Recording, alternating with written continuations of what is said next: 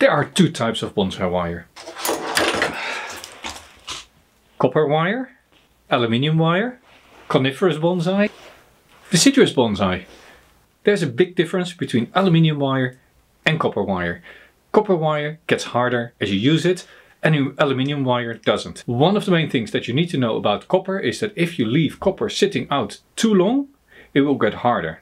You can fix this however. And copper, in contrast to the aluminium, gets harder as it is worked. In fact, if you buy copper wire from a store, it has been annealed. The atoms in the copper wire are nicely, smoothly aligned. There's no stress, there's no force. The wire is very, very soft. And as you bend the wire around the branch, the structure of the copper changes and the wire gets harder. And therefore you can use thinner wire on your branches than you would with aluminium. One problem however is that this copper wire also if you just have it sitting on your bench laying around gets stiffer over time. Changes in temperature will mean that the structure of the copper changes even without working it.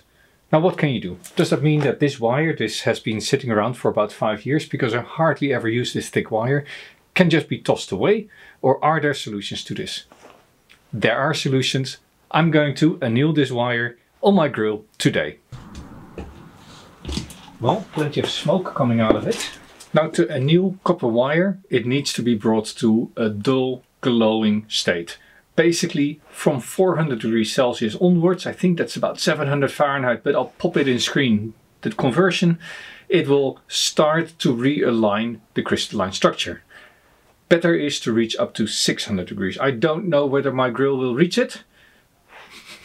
I smell it, it is warm, it is going, I have lit all the coals and now I'm just going to take this, taking the label off because otherwise I don't know that this one kilogram is 5 millimeters thick.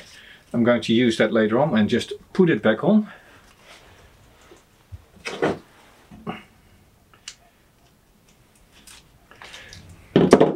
Now what happens when we heat this up to 400 Celsius is that all the atoms in this wire will realign. Then I let it glow until you see a dull glow. I'm not sure whether you, I can show it on screen. And then once it is glowing, I take it out and I let it cool. You can dump it in a, a bucket of water. At that point, all the ashes will come off and it will be nice and red again. But I don't have a bucket of water nearby. It is 2 degrees Celsius, almost freezing. I don't want to work with water, so I'm just going to put it in and lift it out. Now, before I put it in, one thing to keep in mind. You also want to keep it, bring it out again.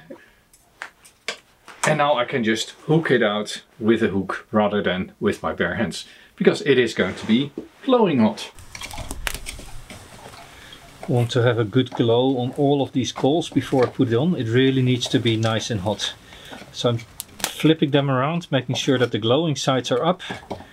And I'll give it another couple of minutes to really get through and through hot and fiery. But this looks really good. And this brings me to some safety precautions. If you do this, make sure you have a place where you can put the wire to cool down. Make sure you have some metal hook to lift it out.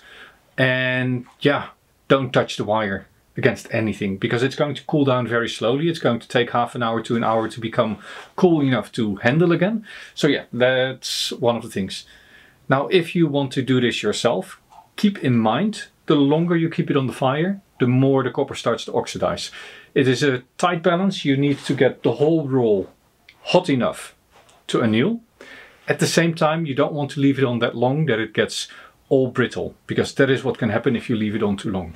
Now this roll of wire has been sitting in my shed for too long so it needs work anyway because I can't use it as is. At this point I can't actually bend it with my bare hands. It is gone that hard. So I'm just going to chuck it on here I'm wearing leather gloves that are soaking wet so I don't burn myself straight away and I leave this cable hanging out closing it with just a little bit of an access for air of course the bottom is completely open as well pulling, sucking air in that looks like it is starting to get a light glow on there I'll give it another two three minutes yeah that looks good that looks good now just for completeness sake, I don't think it's needed. Let me flip this over. and give this side also a little time. By the way, this root hook was uh, forged for me by Bobcat Bonsai and I'll pop a link in the video so you can have a look at how this was made. If you like fire, that is a video to watch. Right, that should be done. And now it really is just a matter of taking it out and putting it down to cool off. This wet concrete should do just fine.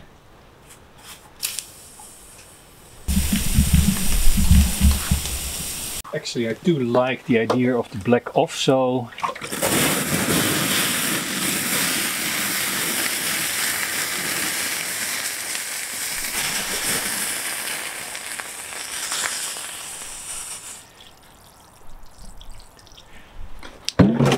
That's cooled down.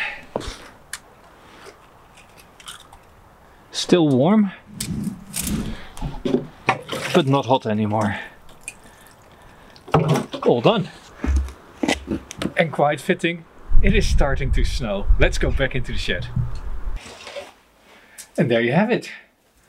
Now the wire should be soft enough to bend by hand.